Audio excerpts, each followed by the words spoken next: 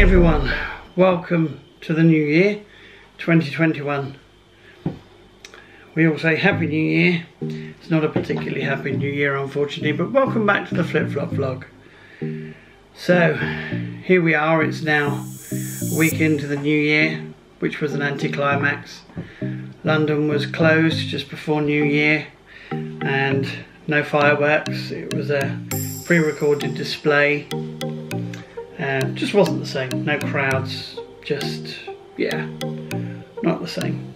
Christmas we did our best to uh, enjoy. Just to update you, David's now home from Crawley. Mad rush on the morning of New Year's Day when uh, Mum got a phone call to say he was coming home and a big confusion initially trying to come home in a taxi all a bit of a nightmare, but he's home now and uh, hopefully we'll see him very soon um, because he's in our bubble. So, a couple of days ago, we went into the third UK lockdown. Still doesn't feel like the first one, but it's supposed to be. You can't go into bars and restaurants, but they can deliver. Takeaways are still running. Essential food shops and people are still supposed to be putting everything down to a minimum travel, essential work only. Hasn't been that much of a noticeable change in the traffic and unfortunately people are still out and about, not wearing masks in the street. People just don't seem to get it. This new seventh and eighth mutation of COVID is devastating. The amount of people suddenly influxing into the hospital in my last couple of shifts was just mind blowing. It was unprecedented, very, very difficult to manage. And this time around, we've got a lot of staff off sick. That's making it challenging. We haven't got the additional staff from all the outpatients that were closed because they're still running. So we're on reduced staff, about 20% less of our nursing staff probably a 50% uptake on income uh, incoming patients. So yeah, it's just devastatingly fast how quickly this is changing. And there seems to be new patterns to it. People are getting this um, now long COVID. Um, patients suffering with respiratory problems are younger. And there definitely seems to be a pattern that people are going downhill after their two weeks of isolation, having been uh, tested positive two weeks prior. So that's not looking good either. On a positive note for us, I did my first vaccination shift yesterday, uh, vaccinating the local people in Crawley around at the local COVID centre, so that was good. It was just nice to feel like you're doing something for your community so yeah, that, that was that was good. It was all second doses, which was also good because the government are now postponing second doses for a little while. Bit of a controversial thing. We're not quite sure how that's going to pan out at the moment. Um, but then we don't even know how the uh, Pfizer's going to react to the new strains at the moment either. So everything's all a little bit iffy. But obviously, the better protected you are, the more hopefully safe you are. On that note, Lorna and I have both got our vaccines today, so I'm heading into work in a moment to see occupational health to have mine, and Lorna's got hers this afternoon before she comes home. So that'll be good. So in that sense, everything's um, positive. It's just horrible at work.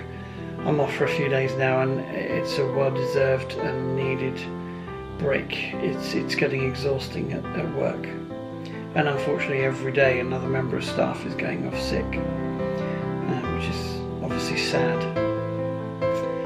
And hopefully everyone else is okay. Uh, I know we've got a couple in my Masonic Lodge that are suffering with COVID, but hopefully they're through the worst of it now. Wishing them well, obviously.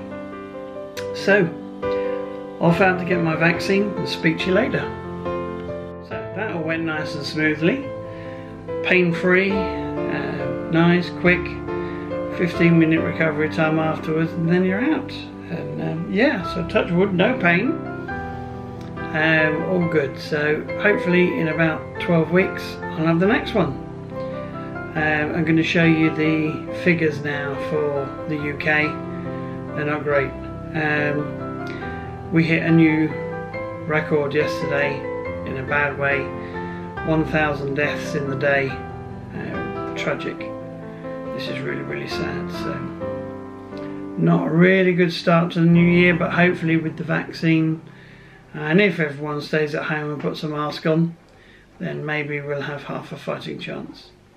We'll see. Just waiting for Lorna to come home.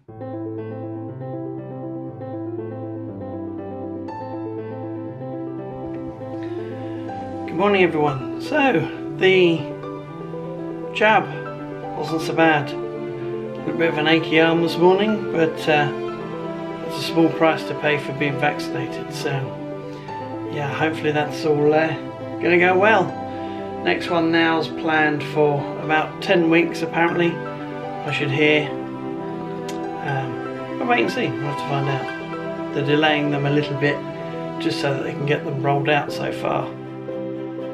So now this morning I'm heading off into Dorking to my osteopath who's apparently still trading, practicing. Um, and we'll see what Dorking's like this morning. Also going to get a couple of hooks, but um, yeah, that's no biggie. And then we'll see what the rest of the day has in store. Bit of relaxation, bit of study.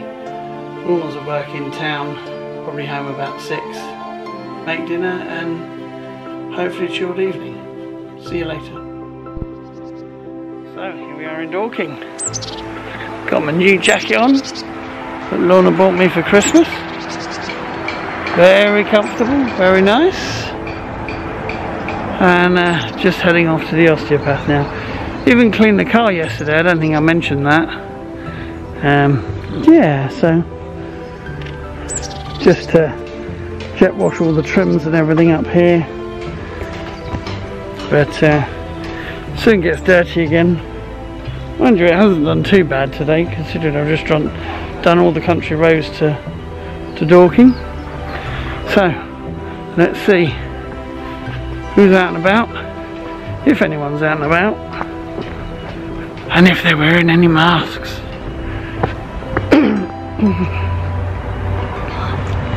it's a lovely little area this.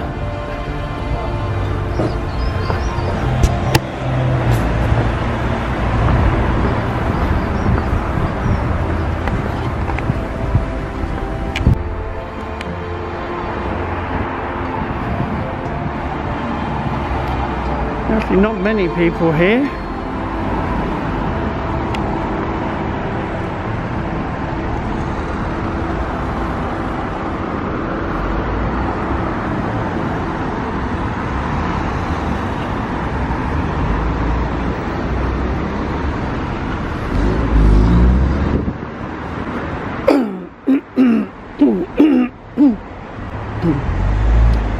Things actually seem all closed again.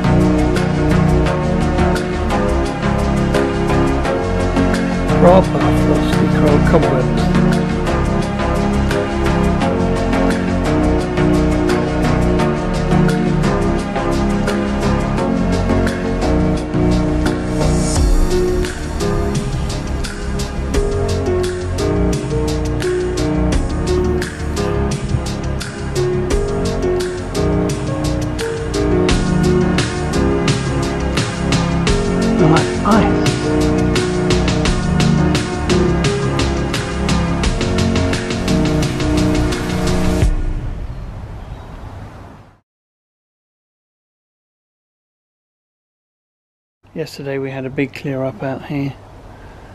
The old broken cold frame has been taken. We'll have to get a new one. Just kept the base that we lovingly made for it. Took all the deadheading away.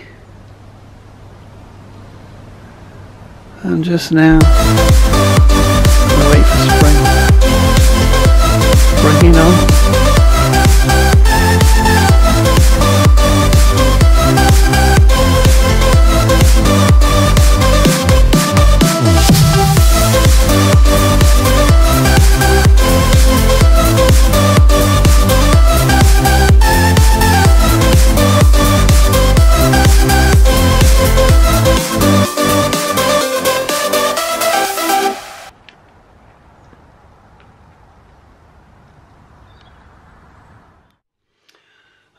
hello. It's a cold and frosty morning. I think my arm's just about recovered from the COVID vaccine, thankfully. Um, yeah, there's not much more going on at the moment. So, before we end this quick update, and it was just really a, a brief update on COVID, I'm going to re put the latest figures in because it's now a couple of days further down the line. But today we're just having a, a lazy Sunday. Um, one of my family is in hospital with COVID quite poorly, so uh, got a lot on my mind at the moment and don't really feel like vlogging today. But um, we're going to have a nice roast gammon dinner. Um, so I just thought I'd show you us putting that together. So here we go.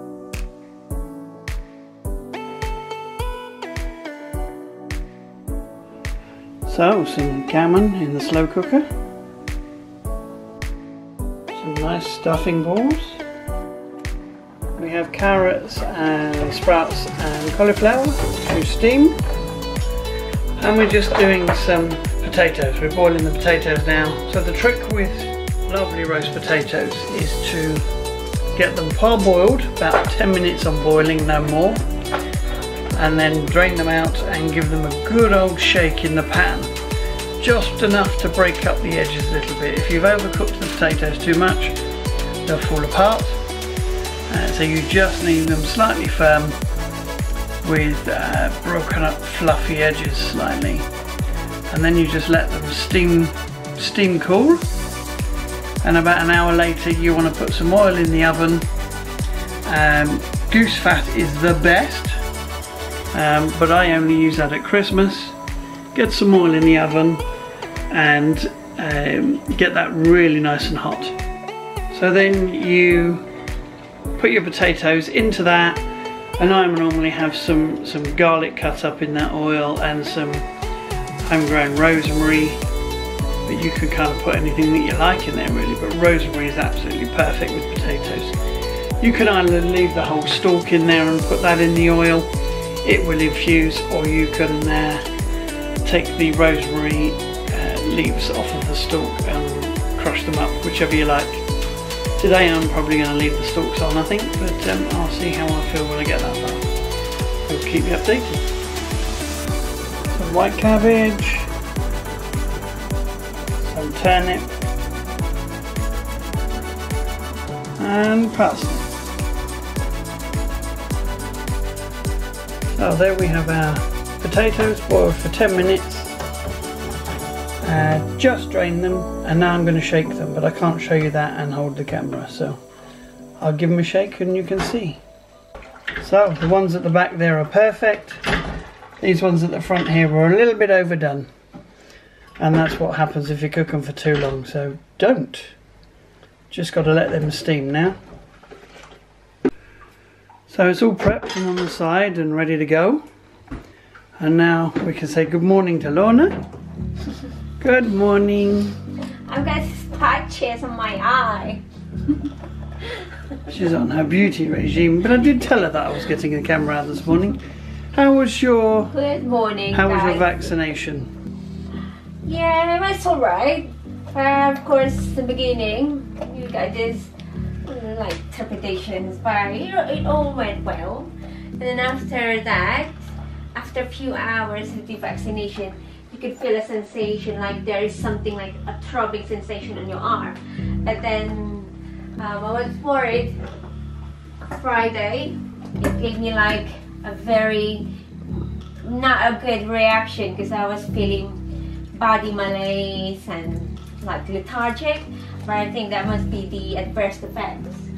And then yeah, the pain, the throbbing in your arm, you can still feel that. But now today I don't feel anything now. So yeah, thankfully that has disappeared. So probably those are the adverse effects that you would feel after the vaccination. But at least it's good. We've got some form, some kind of form of immunity. But obviously until we get the second dose of vaccine, which will due very soon, I suppose so. So yeah, there you have it. So I encourage you guys to get your vaccines done as soon as we can to limit the spread, control the spread of this virus. So yeah, stay safe everyone. And just showing you her orchid started blooming the other day. So she's very happy about that. It's looking a lot better now that someone took some loving care over it. That'll be me. We have plants everywhere in this house. And Philip seems to have got one of his little skin infections again. Where have you gone? Oh yeah, you're over here. So um, He's he's back with his collar on. Philip, say hello. Hello. Hello. I know that collar's really annoying, isn't it?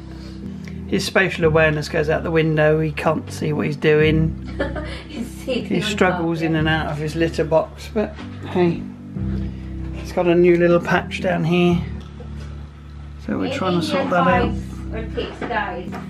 Yeah, Any so ideas any cat lovers out there that know, apparently the vet seems to think that he's allergic to fleas because they found some flea dirt on him, despite him having the medication and also despite him having a new collar as well.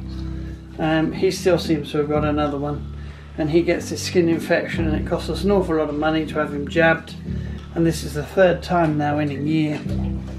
Um, and the second time in, no, fourth time now, isn't it? Mm, because he yeah. had two together recently. So uh, yeah, it's getting costly, and obviously we don't like having to kick them in, but it looks like that might be the way forward. And we certainly don't like having to put a collar on him. So, any of you guys got any thoughts out there? You never know, a vet might happen to watch this vlog. No idea why, but they might. Um, yeah, tell us if you've got any uh, helpful suggestions. Comments down below subscribe somewhere up here, hit the bell, we'll tell you when Please we're gonna like get the next one. Now just waiting for dinner. okay. Have a good day. So the gammon's just fallen apart, I can't really carve it, but it's looking good. And we have a nice gravy cooked in the juices, and it's time to serve. And so we have the final roast dinner. Lorna's having a nice glass of wine with her flip-flop coaster. Cheers.